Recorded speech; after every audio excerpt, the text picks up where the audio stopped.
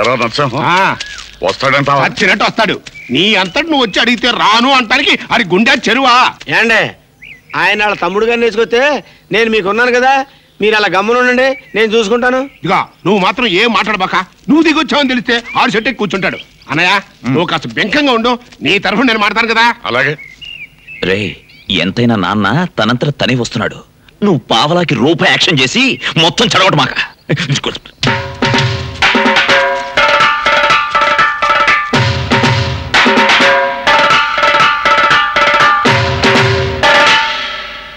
ఎంత ధైర్యం రా నీకు?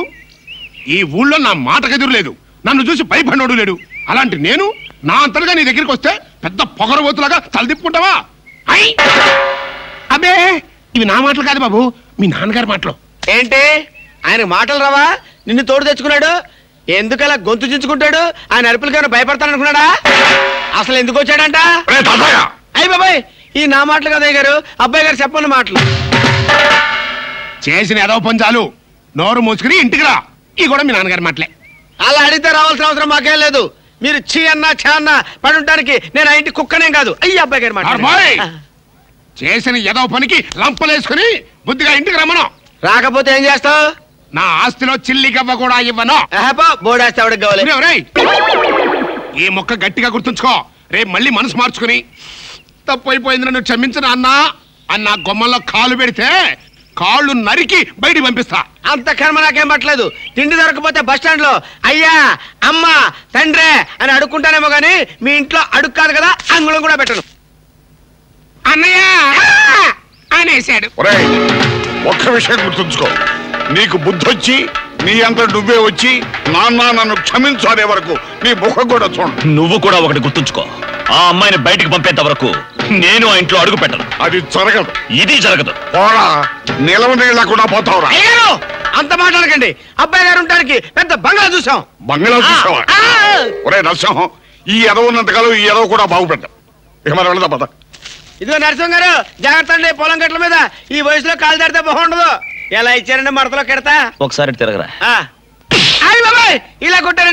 మా నాన్న ఎప్పుడు పిలుస్తాడా? ఎప్పుడు ఇంటికి వెళ్ళిపోదావా అని ఎదురు చూస్తుంటే మొత్తం చెడగొట్టావు కదరా. ఏంటండి? ఇంటికి వెళ్ళిపోదాం అనుకుంటున్నారా? సిగ్గు లేకపోతే సరే. మొన్నటిదాకా దాని మొహం నేను చూడను. గడద గుడ్డు మడతలో కెడతా అన్నారు. ఇప్పుడేమో నేను ఇంటికి వెళ్ళిపోతాను. నాకు రోషం లేదు నాకు మేషం లేదు. నోర్మోయ్, నాకు మీసం ఉంది. ఆ, అవునరా రే. నన్ను ఏదో పెద్ద బంగ్లాకి తీసుకెళ్తున్నావు కదా. ఎక్కడ రాది మరి అదే మడతలో కెడుతుంటే. రండి చెప్తాను. రండి! ట్వంటీ పర్సెంట్ ఇవ్వడానికి వస్తున్నారు ఏదో ఏమండి? వచ్చే వారం తిరుపతిలో బ్రహ్మోత్సవాలు జరుగుతున్నాయి. అయితే? వెళదామండి. మూడు రోజులు టైం వేస్ట్ రెండు వేలు డబ్బు బక్క. ఏదో టీవీ ముందు కూర్చున్నావు అనుకో లైవ్ ప్రోగ్రామ్ ఇస్తారు ఫ్యాన్ కింద కూర్చొని పల్లీలు తింటూ చూడొచ్చు. రేపు ఆదివారం. ఏదైనా మంచి సినిమాకి వెళ్దామండి. వారిని మూడు గంటలు టైం వేస్ట్ రెండు వందల రూపాయలు డబ్బు వేస్ట్. మూడు నెలలు కళ్ళు మూసుకో అనుకో ఏదో ఛానల్ వస్తుంది ఇంట్లో కూర్చొని చూడొచ్చు. అవును మర్చిపోయాను. నీకు ఫిష్ బిర్యానీ చేయడం వచ్చా? తినాలంది ఎందుకు? అనవసరంగా డబ్బు ఖర్చు. ప్రతిరోజు టీవీ చూస్తూ కూర్చోండి. ఏదో ఒక రోజు టీవీ ప్రోగ్రామ్లో గుమగుమల్లో చూపిస్తారు. ఎలా చేయాలో? లొట్టలేస్తూ చూడొచ్చు. మాటల్లో పెట్టి రికార్డింగ్ థియేటర్ వరకు నడిపించుకుంటూ తీసుకొచ్చి ఆటో డబ్బులు మిగిల్చారు. హలో? నువ్వు ఎంత బాగా వాయిస్తావు ఏం బాగా వాయిస్తావు అనేది నాకు అనవసరం. నీకు ఇచ్చే రిమ్యునరేషన్లో నాకు ట్వంటీ పర్సెంట్ ఇస్తావా? అయితేనే ఓకే. లైన్ నోట్ అలా అయితేనే ఓకే. లేవుటి ఇంకోసారి ఫోన్ చేయకు. చేయకు పెట్టే. పెట్టే ఫోన్. ఇదిగో నువ్వు పంజాబ్ వెళ్తున్నావు కదా? అవును సార్. మా ఆవిడ్ని మాధురి రికార్డింగ్ థియేటర్లో డ్రాప్ చేసి ఆ తర్వాత వెళ్ళు. అర్థమైందా? అలాగే సార్. ఒక్క నిమిషం. హలో? ఆ. ఏమయ్య నాకు ఈ సొంత ఎందుకయ్యా? నువ్వు ఎంత సీనియర్ అయితే నాకెందుకు? ట్వంటీ పర్సెంట్ ఇస్తావా? ఆ, అలా అయితే రికార్డింగ్ థియేటర్ గిటార్ వేసుకుని వచ్చాయి. ఇది ఒక్క నిమిషం. పక్కనే కదా ఇల్లు. నడుచుకుంటూ వచ్చి ఆటోలో వచ్చానని చెప్పి మా బాధ దగ్గర వంద రూపాయలు తీసుకో.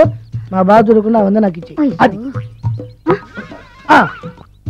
ఇగో ఇగో ఒక్క నిమిషం. ఇంటి దగ్గరే టీలు టిఫిన్లు తినేసి వచ్చాయి. ఓకే? ఈ పేరు చెప్పి టీలు టిఫిన్లు మూడు మారికి చెంది ప్యాకెట్లు నాకు సిగరెట్ ప్యాకెట్ అని వంద రూపాయలు ఒకేసారి. నువ్వు వెళ్ళు. ఇగో నువ్వు ట్రాక్ పరిగణ రెండు వేల రూపాయలు ఇస్తారు. నాకు రెండు వందల రూపాయలు కమిషన్ ఇవ్వాలి. ఓకేనా? నేను మీ భార్యనండి. మర్చిపోయాను. నువ్వు వెళ్ళు. ఇగో మా ఆవిడ డ్రాప్ చేసినట్టు వెళ్ళు. మధ్యలో ఎటు వెళ్ళు మాక? వెళ్ళు. మా గురువు గారు కూడా అనవసరంగా పెట్రోల్ వేస్ట్ చేస్తుంటారు. నడుచుకుంటూ రావచ్చు కదా, ఇంత పెద్ద బండి ఎందుకో? Hello? Good morning sir good morning ఏమిటి late? Good morning sir morning ఏమిటిది? మోడర్న్ రాజరా మోటారోలా పేజర్ సార్ ఆహా ఇదేమన్నా రియల్ ఎస్టేట్ ఆఫీస్ అనుకున్నావా? ప్యాసర్లు సెలవులు పెట్టుకోవడానికి ఇది ఎగ్జామ్ హాల్ మా అమ్మ హార్ట్ పేషెంట్ సార్ కేజీహెచ్లో చేర్పించాం. నేను ఎగ్జామ్కు వెళ్ళనంటే డాక్టర్స్ ఫీల్ అయ్యి మా అమ్మ హార్ట్ బీటు బీపీ పల్స్ ఎప్పటికప్పుడు పేజర్లో మెసేజ్ పంపిస్తామన్నారు సార్ అందుకనే. It's okay it's okay it's okay మా మదర్ కూడా నేను ఎగ్జామ్ రాస్తుండగానే చచ్చిపోయింది. అప్పుడు ఇండియాలో ప్యాజర్స్ సెల్స్ లేవు. పేదరికం తప్ప.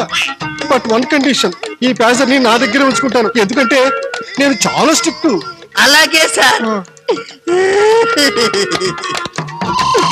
హలో.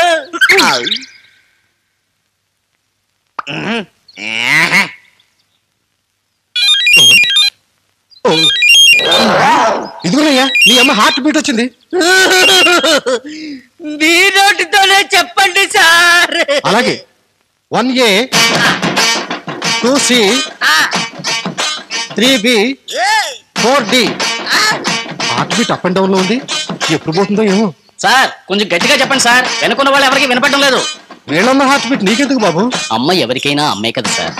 Okay okay. కూర్చో బాబు.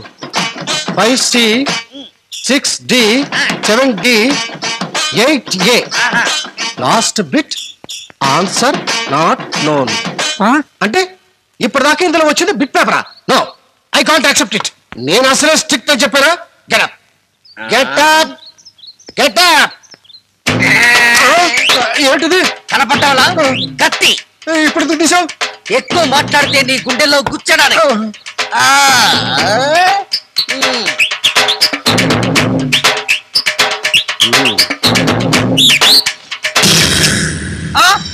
ఏంటి సార్ ఇది? కనపడ్డవలా గన్ భావి భారత పౌరులు తీర్చిదిద్దాల్సిన మీరేలా కనిపిస్తారా భావి భారత పౌరుడు నువ్వు చాకు తీయగలండి నేను గన్ తీస్తే తప్పేమిట్రా? ఓహో. మీరు ఆ రూట్లో వచ్చారా! నాకు తెలుసురా నువ్వు చాకు తీశావు నేను గన్ తీశాను.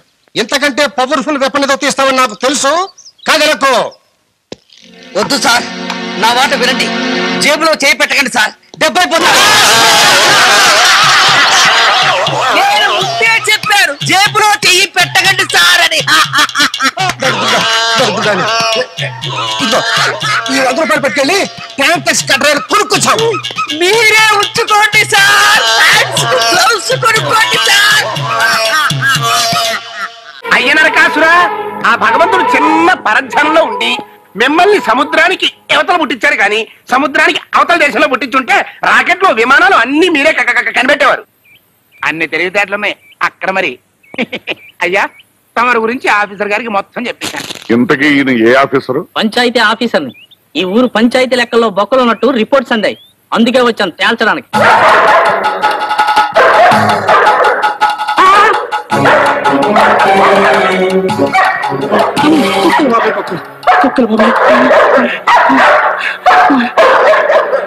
బాబాయ్ కుక్కలు బాబాయ్ బొమ్మలండి నాకు చెత్త భయం. నా కుక్కలను చూసి భయపడి గుండెలు బాదుకునే వాడివి నీకు నా పంచాయతీ లెక్కలు ఎందుకయ్యా? సార్ సార్ మీరు గవర్నమెంట్ ఆఫీసరా?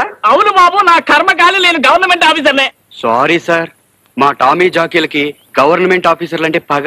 గవర్నమెంట్ ఆఫీసర్లు అంటే పగ. ఎందుకు బాబు? అది ఒక పెద్ద కథ బాబు.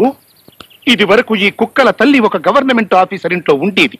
ఆ గవర్నమెంట్ ఆఫీసర్ వీటి తల్లికి ఫుడ్డు గిడ్డు పెట్టక హింసించేవాడు. ఆ హింసలు భరించలేక ఈ కుక్కల తల్లి వీటిని కని చచ్చిపోయింది. అప్పటి నుంచే వీటి తల్లి చావుకి కారణమైన ఆఫీసర్లంటే వీటికి చెప్పలేనంత పగ. ఆ పగతోనే ఈ ఊళ్ళోకి ఏ ఆఫీసర్ వచ్చినా వీలైనంత అరిచి కరిచి తదత చంపేస్తాయి. ఫైనల్గా ఇది సాంబ్రాన్ మీద ఒట్టు. సార్ దయచేసి మీ కుక్కల్ని పంపేసి మీ క్లర్క్ నాతో పంపించండి. గుడి వెనకాల కూర్చుని మీ లెక్కల బుక్కులు వాసన చూసి వెళ్ళిపోతా సార్. అలా రా దారికి రే చంద్రయ్య బాబు గారు. వెళ్ళే లెక్కలు చూపించు ఒక పని అయిపోద్ది. అలాగే. అమ్మా! ఆ, ఆ, పద. ఆ? అయ్యా పంచాయతీ ఆఫీస్ క్లర్క్ను పంపించమంటే ఈ పాలేరు గని పంపించడం మీకు న్యాయం కాదండి. పాలేరా? ఎవరే పాలేరు? ఎవరు పాలేరు? ఆ? నేనే పంచాయతీ ఆఫీస్ గుమస్తాని. ఆ? ఓ పంచె పైకి ఎగ్గట్టానా ఇప్పుడు చూడు సరిగా ఉన్నానా ఇదిగో నేను పంచాయతీ ఆఫీస్ గుమస్తానైనా అంతకంటే ముందు దేవుడి గారికి నమ్మిన పంటనయ్యా